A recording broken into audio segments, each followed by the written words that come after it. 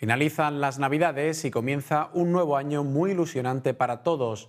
Unas actividades que han implicado a muchas delegaciones del ayuntamiento y en las que destaca la alta participación.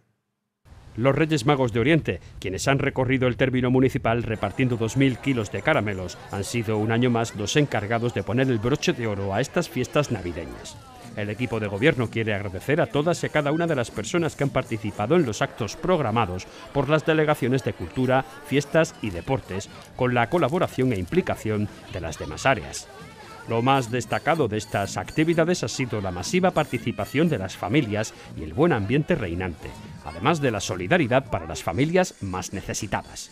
También se quiere felicitar a las asociaciones, empresas y particulares que han contribuido para que se viva la Navidad en el municipio en un entorno agradable y en paz.